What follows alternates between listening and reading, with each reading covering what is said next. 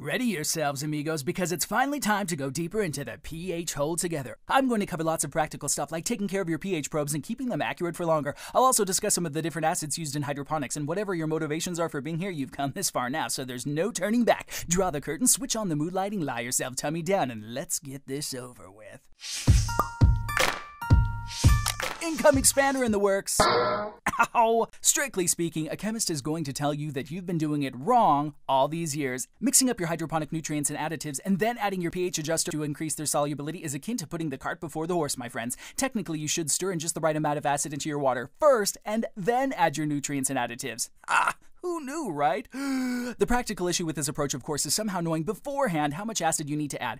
Reverse osmosis water rarely requires any acid. To have any hope of doing this right, you need consistent inputs, your water and your nutrients. But first, while I've still got you all soft and malleable, let's quickly cement what our understanding of an acid actually is. We're going to start with hydrogen, the first and arguably the simplest element in the periodic table. Its life as an atom is a pretty bare bones affair, so it shouldn't be difficult to keep a lid on our excitement levels for now. Okay, we're talking about an atomic nucleus containing a single positively charged proton and no neutrons with just a lonely negatively charged electron dancing around it for company. Round and round it goes. That's the life of our no frills hydrogen atom right there. Now, it may sound cruel, but what if we take away the hydrogen's only electron for some reason? Oh, maybe just out of pure spite. Then what are we left with? Well, just a proton, of course. We can refer to this as H plus or a hydrogen ion, a proton, or we can call it Peter.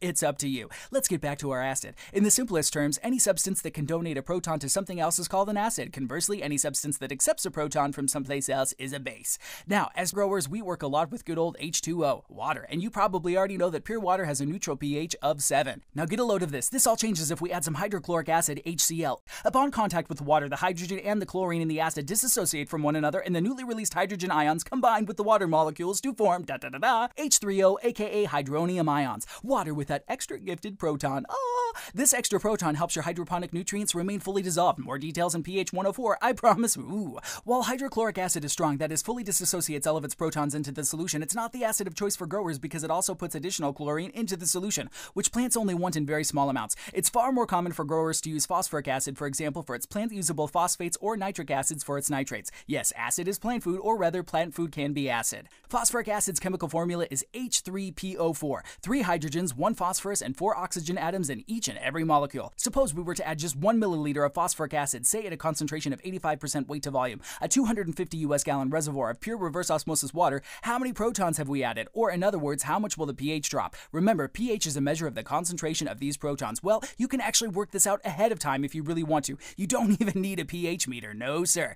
Take the atomic mass of each element from the periodic table. Hydrogen is 1, phosphorus is 31, oxygen is 16. Then work out the molecular mass of phosphoric acid. 3 times hydrogen plus 1 times phosphorus plus 4 times oxygen equals 3 plus 31 plus 64, giving us a grand total of 98. This number 98 is the key. It allows us to work out how many molecules of phosphoric acid we actually are adding to our reservoir, and I mean, wow. But wait, as a phosphoric acid is only 85% concentrated, it's not really 1 milliliter, it's just 0.85. Divide 0.85 by 98 to get 0.00867. Then we take this tiny little number and multiply it by a friggin' huge one, Avogadro's constant, otherwise known as a mole. Yep, let's stick with a mole. So we have 0.00867 moles of phosphoric acid about to be dissolved into 250 gallons of water, or 946.35 liters for you brilliant metric people out there, lovey jubbly. Now what? Well, we know there are three hydrogen atoms in every molecule of phosphoric acid, so that's 0.00867 times 3, which equals 0.026 moles of hydrogen. 0.026 moles dissolved into 946.35 liters equals 0.000027 moles per liter. That's our concentration of hydrogen ions. Remember, that's just Peter, the patronizing proton, hanging out there in the reservoir. Now, the final step to calculate our new pH, we take the negative logarithm of 10 and multiply by the concentration of our answer, da da da da, pH 4.56.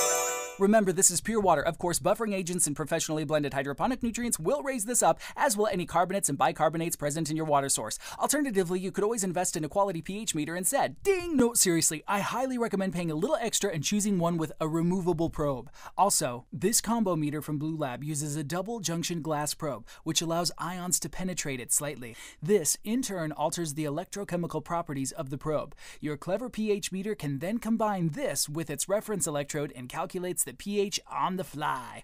wow. Arguably, this piece of kit is the most sensitive and complex piece of equipment in your grow room, so be sure to keep the probe clean. Yes, just like other things. Use a toothbrush to gently dislodge any gunk around the probe. Bluelab make a great little probe maintenance kit that comes with a cleaning agent too. Just be sure to rinse it all off thoroughly and always store your pH probe in KCl, that's potassium chloride storage solution when not in use. Probes left in strong nutrient solutions in your flowering room reservoir for weeks on end can become desensitized. Who wants a desensitized probe? Swap them out and give them a clean and a little vacation in storage solution. Same goes if you accidentally let a pH probe dry out. It's not necessarily game over, just leave it submerged in KCl solution for 24 hours. Two point calibration is a must. Try and make it part of your weekly routine to ensure accurate measurements. You know your probe is getting old when it takes a long time to calibrate and or reach the final reading. We're still talking about probes here. I tend to replace mine every 9 to 12 months. Just be patient when taking your readings. Always mix thoroughly and double check your readings after 10 minutes. Right, that's it for now. Questions, comments, slander, pejoratives, date invites, down below as always. This is Everest saying bye bye, bye bye.